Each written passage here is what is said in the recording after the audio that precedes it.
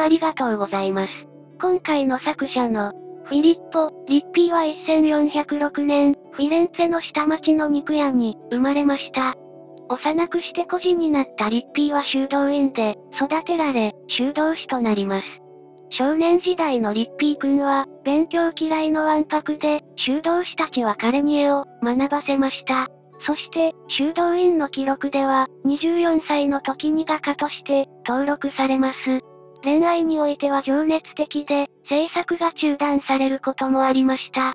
リッピーが50歳の時、この作品のモデルで、20歳の修道女のルクレツィアと恋に落ち、翌年に息子であり画家のフィリッピーのリッピーを授かります。